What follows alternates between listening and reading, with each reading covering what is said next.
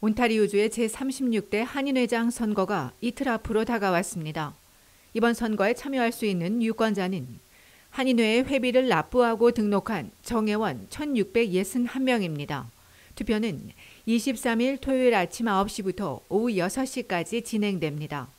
토론토 한인회관 또는 미시사가 한국식품점에서 한 번만 투표할 수 있습니다. 토론토 선거관리위원회는 만일을 대비해 중복 투표를 실시간으로 확인할 예정입니다.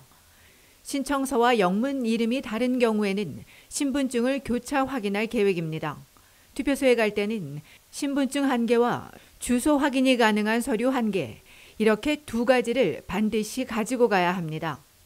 신분증으로는 본인 사진이 부착된 의료보험 카드나 영주권 카드 또는 시민권 카드나 캐나다 여권 중 한 개를 지참하며 주소를 확인하는 용지는 공과금 고지서나 운전면허증을 소지하면 됩니다.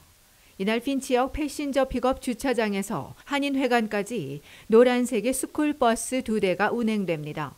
핀치역에서는 아침 10시부터 오후 5시까지 매시 정각에 출발하고 한인회관에서는 아침 10시 30분부터 1시간 간격으로 운행합니다. 투표소에는 선관위원들과 두 후보 측의 참관인, 한인회 사무국 직원, 자원봉사자들이 배치됩니다. 이날 6시 투표가 끝나면 미시사가 한국식품에 있는 투표함이 한인회관으로 옮겨지고 저녁 7시부터 개표가 진행됩니다.